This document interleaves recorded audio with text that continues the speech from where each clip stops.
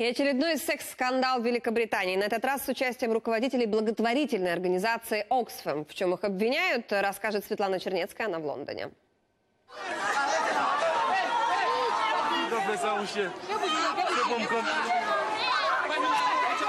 Гаити – мощнейшее землетрясение, более 200 тысяч погибших, миллионы пострадавших. Сотрудники Оксфам были одними из первых, кто примчался на помощь.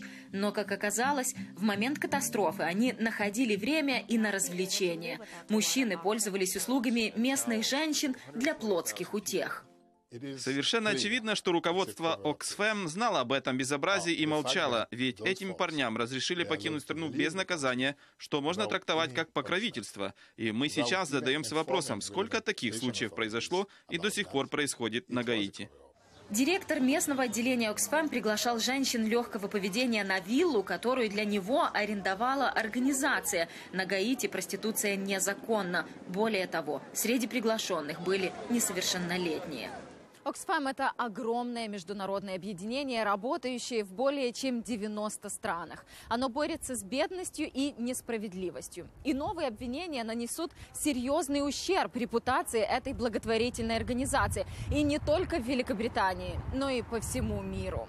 В Оксфаме обвинения в сокрытии скандала отрицают. Дескать, еще в 2011-м уволили четырех человек. Правда, того самого директора отделения в списке не было. Я считаю, что в то время Оксфэм поступили очень ответственно и открыто. Мы расследовали этот инцидент и пришли к выводу, что злоупотреблений общественными деньгами не было. Но некоторые люди вели себя недостойно. Это было неприемлемо, и мы приняли меры. Вот только в правительстве так не считают. Там говорят о чудовищном обращении с беззащитными людьми со стороны сотрудников благотворительной организации. На Даунинг-стрит 10 объявили, что пересмотрят сотрудничество с Оксфэм.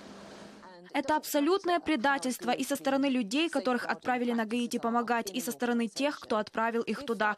Эта история шокирует, в частности, тот факт, что в организации отсутствует моральное лидерство. Этот скандал может дорого обойтись Оксфэму. В правительстве серьезно задумались о прекращении финансирования организации. А в прошлом году она получила около 32 миллионов фунтов от государства. Светлана Чернецкая, Сергей Дубинин. Подробности. Британское бюро телеканала «Интер».